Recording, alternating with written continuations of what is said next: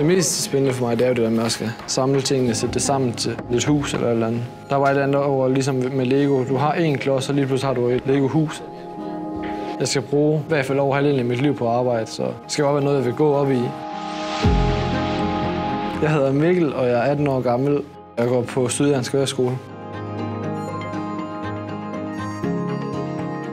I min fritid dyrker jeg sport, jeg styrketræner, jeg løber. Jeg cykler for den sags skyld nogle gange.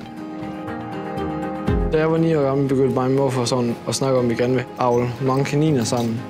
Og så byggede vi jo et kaninhus, så vi kunne have mange kaniner. Og der startede vi jo bare forbundet af, ligesom vi har gjort med det legehus, vi er i gang med nu. Med først at måle op og finde ud af, hvor mange materialer vi skulle bruge til det.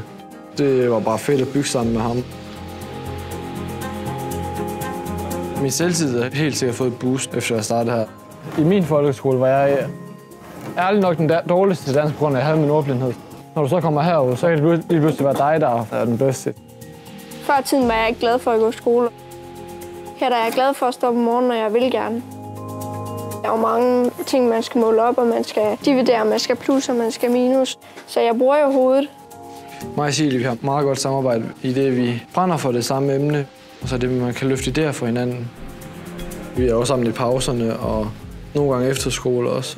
Der kan vi snakke om træ og, og byg, og det kan jeg godt lide. Ja, vi triller lov hinanden med det. Så giver vi hinanden skylden for det hele. Ja.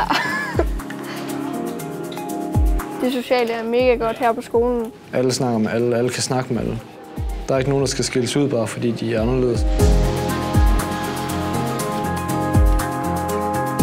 Mange af mine venner på gymnasiet, og det er jeg faktisk egentlig glad for, at jeg ikke har valgt.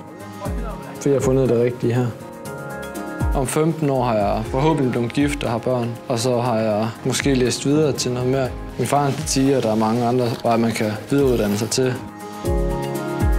Det bedste ved det hele er helt klart, at fordi jeg er fire og et halvt år, man kan læse videre, og så komme ud og gøre andre glade med sit håndværk.